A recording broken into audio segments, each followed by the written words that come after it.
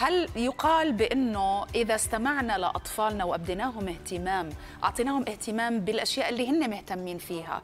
وهن أطفال الأشياء التافهة الصغيرة ماما تعي شوفي شوفي على الآيباد ماما هيك صار بالمدرسة. عادة بتكون شغلات هيك صغيرة جدا وتافهة ولكن هذا بيعني بأنه إحنا كسبنا ثقتهم للمستقبل لما يكون في عن جد قضايا مهمة يلجأوا لنا. لإلها وطبعا القدوة الحسنة إنه نكون قدوة حسنة. هل مضبوط هذا الكلام؟ هذا هل هذا بيخلق ثقة ما بين الأهل وأبنائهم. مية بالمية صغار وكبار. إذا نحن احترمنا شو أنت بتحبي بيحترمونا. فالولد بالنسبة له ال iPad أو اللعبة اللي وقعت على الأرض يلي هي اللعبة كتير صغيرة يلي هي بالنسبة له شيء كتير مهم وحاسس فيها بالأمان.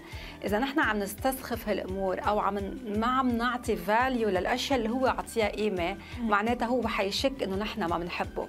فالأشياء التافهة اللي نحن بنشوفها صارت عادية لأنه نحن كانت بالنسبة لنا كتير مهمة. بدنا نعطيها نفس القيمة ونشوفها بنفس نفس العين اللي عم بشوفها الولد. يعني دائما أنا بدي نزل عيوني لعيون الولد وشوفه هو شو عم بشوف. صحيح. صح. الأشياء اللي هو بحبها أنا بدي فرجي نفس المشاعر إنه أنا okay هي مهمة الحق معك تزعل هالقد. بادر معه بنفس المشاعر. يعني هو غضب كثير okay؟ بيجي بساله أنا ليه غضبت؟ ليش زعلت؟